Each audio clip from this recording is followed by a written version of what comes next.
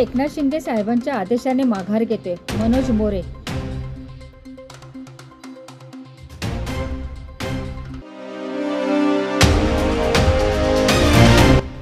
धुळे वकील संघाची मागणी मान्य.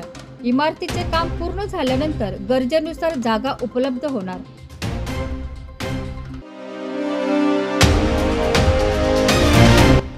वंचितचे उमेदवार जितेंद्र शिरसाट यांच्या उमेदवारीला चळवळीचे बळ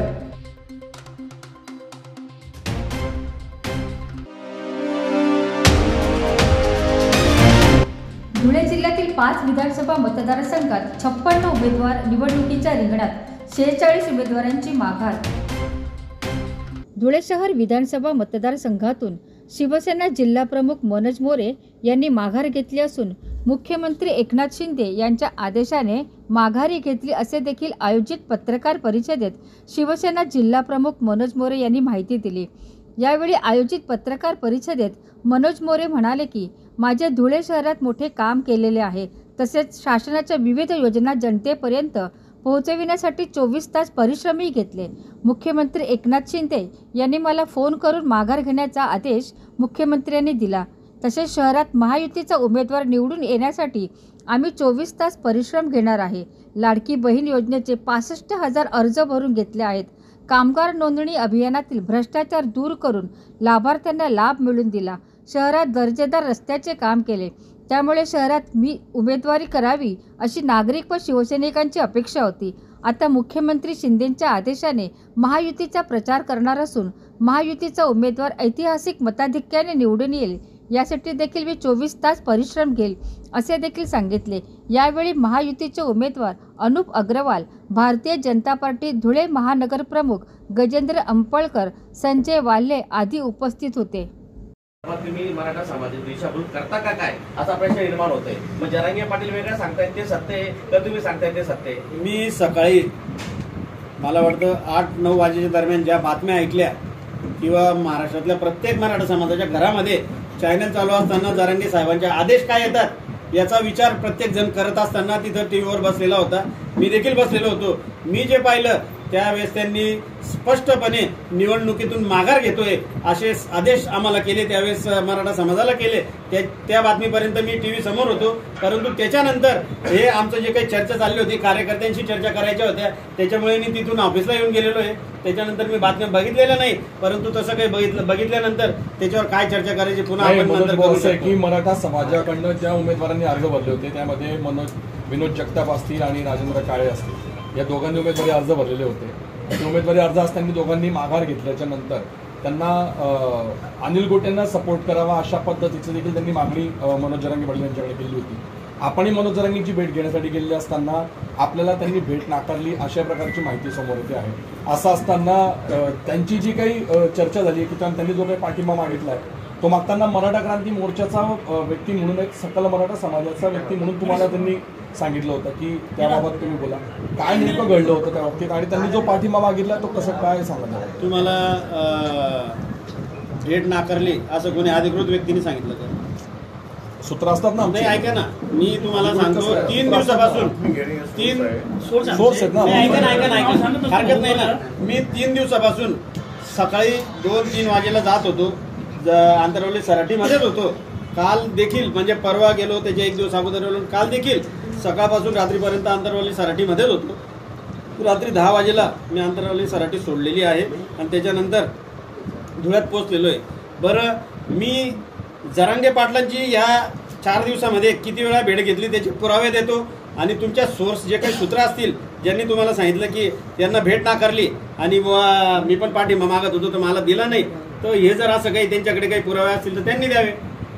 मी पण पुरावे देतो माझ्या भेटी कशा झाल्या त्याचे? भाऊ अं, प्रहारच्या वतीने आपण उमेदवारी करणार आहात असं पण सांगितलं होतं आणि उमेदवारी अर्ज दाखल केला होता असं म्हटलं होतं. याबाबतचा काय निर्णय झाला नेमकं? ते काय? मी मी बच्चू भाऊंशी पण माझं बोलणं चालूच होतं. उमेदवारी दाखल केलेली होती परंतु जे काही असेल ते त्यावेळेस मी त्या रागाच्या भरामध्ये ती उमेदवारी घेऊन टाकलेली होती आणि प्रहारची. रागाच्या भरात. रागाच्या भरात म्हणजे मला तिकीट नाही मिळालं तो सोबत होते. हो ना हो ना, होते ना. जिल्हा अध्यक्ष रागाच्या भरात नाही नाही नाही नाही ऐका ऐका. त्यांचा फोन होता आम्हाला की मनोज मोहनी माघारी घेतली का बुवा? घेतली. विचारला घेतली बाबा अरे पण ते आमच्या पक्षाचे होते मला न विचारता घेऊन घेतली. जे काही रागाच्या भरात जे? काही जे काही झालं असेल प्रहार पक्षाला देखील माझ्याकडून जो काही त्रास माझ्यामुळे जे काही त्यांना मनस्ताप झाला असेल मी बच्चू भाऊकडूनच देखील माफी मागतो. आणि प्रहारची पण उमेदवारी असेल किंवा अपक्ष पण उमेदवारी असेल मी एकनाथ शिंदे साहेबांच्या आदेशाने मागे घेतली. तुम्ही गेल्या पाच वर्षामधला आपला हा सातवा पक्ष होता मनोज भाऊ. आणि असं असताना प्रहार मग शिवसेना आता परत राष्ट्रवादी भाजप भाजप त्याच्यानंतर आता परत शिव प्रहार ज्यांना आपलं शिंदे झालं ना पाच सहा सहा तर पक्ष होऊनच जात इथे. काय असतं बघा ज्या ज्या वेळेस आम्ही बंडखोर स्वभावाचे लोक आहोत आम्ही अन्याय सहन करून घेत नाही. ज्या ज्या वेळेस आम्हाला त्रास होईल त्या त्यावेळेस आमची भूमिका बदलत राहील. परंतु जिथे राहू जिथे राहू त्यांच्याशी प्रामाणिक राहू कुठल्याच प्रकारची गद्दारी त्यांच्यासोबत होणार नाही. हे देखील आम्ही आजपर्यंत केलेलं आहे. ज्या पक्षात होतो त्या पक्षात त्या काळामध्ये आमच्याकडून कुठल्याच प्रकारचं चुकीचं काम झालेलं नाहीये. मी महाराष्ट्र न्यूज चॅनलच्या बातमीपत्रास लाईक शेअर सबस्क्राईब करा. सोबतच बेल आयकॉन प्रेस करायला विसरू नका. पाहत राहा मी महाराष्ट्र चॅनल धुळ्यात नव्याने बांधण्यात येणाऱ्या जिल्हा व सत्र न्यायालयाच्या नवीन बिल्डिंगमध्ये वकिलांना बसायला पुरेशी जागा उपलब्ध नसल्याने वकील संघाने आंदोलन केले होते. त्यामुळे वकील संघाची मागणी मान्य झाली असून इमारतीचे बांधकाम पूर्ण झाल्यावर गरजेनुसार जागा उपलब्ध करण्यात येईल. असे देखील पत्र उच्च न्यायालय मुंबईकडून वकील संघाला देण्यात आले आहे. जिल्हा न्यायालयाची नवीन इमारतीत बार असोसिएशनकरिता अतिरिक्त जागा मिळण्यात यावी अशी मागणी बार असोसिएशनच्याकडून करण्यात येत होती. तसेच वकील संघाने मागणीसाठी वेळोवेळी आंदोलने देखील केली होती. इमारतीचे बांधकाम पूर्ण झाल्यावर गरजेनुसार जागा उपलब्ध करण्यात येईल असे देखील पत्र उच्च न्यायालय मुंबईकडून वकील संघाला देण्यात आले आहे. धुळे जिल्हा वकील संघाचे अध्यक्ष ॲडव्होकेट राहुल बी पाटील व पदाधिकारी पत्रकार परिषदेत माहिती दिली.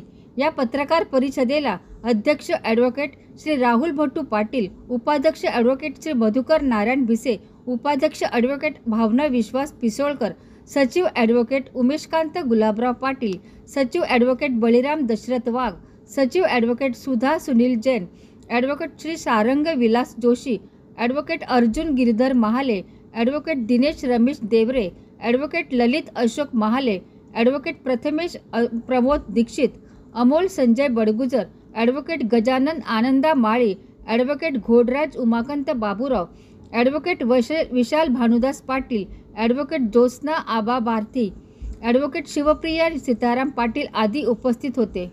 बिल्डिंग जी होते त्या नवीन बिल्डिंगमध्ये पक्षकार सामान्य ज्यांची कोर्टात कामं असतील मग ते आरोपी वादी प्रतिवादी साक्षीदार यांना त्याचबरोबर वकिलांना बसायला पुरेशी जागा नसल्याचं आम्हाला प्लॅनचं अवलोकन केल्यावर लक्षात आलं. त्यामुळे आम्ही तो आंदोलन केलं.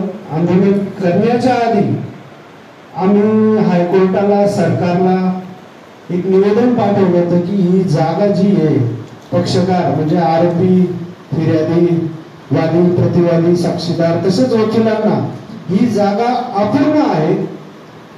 तर ही जागा वाढवून द्यावी असं आम्ही निवेदन दिलेलं होतं. सदर निवेदन हायकोर्टाची एक बिल्डिंग कमिटी असते. त्या बिल्डिंग कमिटीकडे पेंडिंग होतं सबज्युडाईज होतं. तसं नसताना पीडब्ल्यू डीने वर्क ऑर्डर केली आणि प्रत्यक्ष कामाला सुरुवात केली.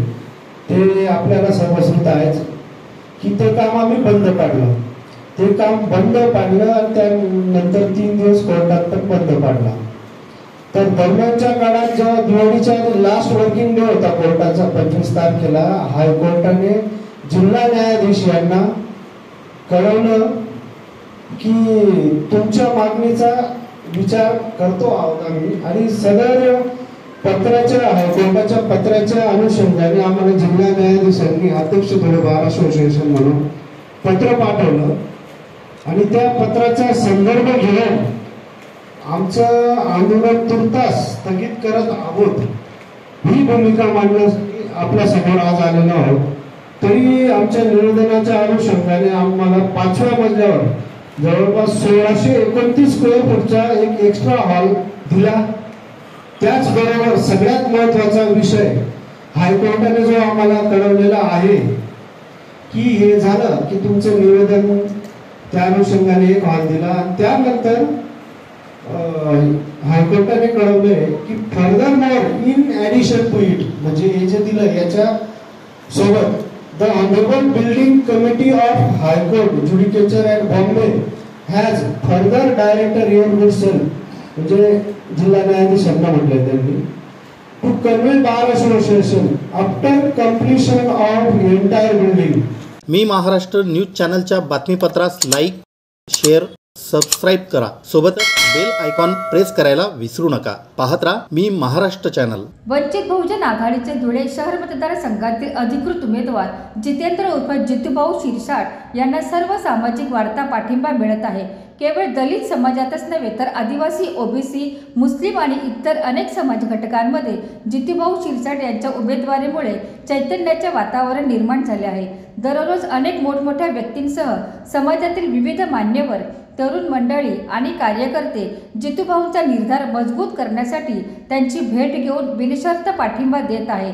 रविवार दिनांक तीन नोव्हेंबर रोजी सत्यशोधक चळवळीचा आणि जागर कला मंचच्या कार्यकर्त्यांनी जितीभाऊ शिरसाट यांची भेट घेऊन उमेदवारी आणि प्रचाराच्या अंगाने विविध मुद्द्यांवर सविस्तर चर्चा केली. तसेच चर्चेतून जितीभाऊ यांना बिनशर्त पाठिंबा देत निवडणुकीत त्यांच्या मागे मतांची ताकद मोठ्या प्रमाणावर उभी करण्याची ग्वाही दिली. या प्रसंगी शरद बेंदे राकेश अहिरे शरद शि महेंद्र शिंदे सिद्धांत बागुल अमोल शिरसाट जितेंद्र अहिरे संदीप बोरसे सचिन बागुल यांच्यासह अन्य कार्यकर्ते उपस्थित होते. मी महाराष्ट्र न्यूज चॅनलच्या बातमीपत्रास लाईक शेअर सबस्क्राईब करा. सोबतच बेल आयकॉन प्रेस करायला विसरू नका. पाहत राहा मी महाराष्ट्र चॅनल दिनांक चार नोव्हेंबर दोन हजार चोवीस जिमाका वृत्त. महाराष्ट्र विधानसभा निवडणुकीसाठी राज्यात येत्या वीस नोव्हेंबर रोजी मतदान होणार आहे. धुळे जिल्ह्यात विधानसभेचे पाच मतदारसंघ येतात. या निवडणुकीसाठी आज माघारीच्या अखेरच्या दिवशी जिल्ह्यात सेहेचाळीस उमेदवारांनी माघार घेतली असून आता छप्पन्न उमेदवार निवडणुकीच्या रिंगणात आहेत. सर्वाधिक अठरा उमेदवार साक्री विधानसभा मतदारसंघात तर सर्वात कमी सहा उमेदवार शिरपूर विधानसभा मतदारसंघातून निवडणूक लढविणार असल्याची माहिती निवडणूक शाखेमार्फत देण्यात आली आहे. धुळे जिल्ह्यातील शून्य पाच साक्री विधानसभा मतदारसंघात एकूण तीस उमेदवारांचे अर्ज वैध ठरले होते. त्यापैकी बारा उमेदवारांनी माघार घेतली असून आता अठरा उमेदवार निवडणुकीच्या रिंगणात आहेत. शून्य सहा धुळे ग्रामीण विधानसभा मतदारसंघात एकूण पंधरा उमेदवारांचे अर्ज वैध ठरले होते. त्यापैकी तीन उमेदवारांनी माघार घेतली असून आता बारा उमेदवार निवडणुकीच्या रिंगणात आहेत. शून्य सात धुळे शहर विधानसभा मतदारसंघात एकूण वीस उमेदवारांचे अर्ज वैध ठरले होते. त्यापैकी बारा उमेदवारांनी माघार घेतली असून आता आठ उमेदवार निवडणुकीच्या रिंगणात आहेत. शून्य आठ शिंदखेडा विधानसभा मतदारसंघात एकूण चोवीस उमेदवारांचे अर्ज वैध ठरले होते. त्यापैकी बारा उमेदवारांनी माघार घेतली असून आता बारा उमेदवार निवडणुकीच्या रिंगणात आहेत. शून्य नऊ शिरपूर विधानसभा मतदारसंघात एकूण तेरा उमेदवारांचे अर्ज वैध ठरले होते. त्यापैकी सात उमेदवारांनी माघार घेतली असून आता सहा उमेदवार निवडणुकीच्या रिंगणात आहेत. विधानसभा निवडणुकीसाठी वीस नोव्हेंबर रोजी मतदान होणार असून तेवीस नोव्हेंबर दोन हजार चोवीस रोजी मतमोजणी होणार आहे. मी महाराष्ट्र न्यूज चॅनलच्या बातमीपत्रास लाईक शेअर सबस्क्राईब करा. सोबतच बेल आयकॉन प्रेस करायला विसरू नका. पाहत राहा मी महाराष्ट्र चॅनल.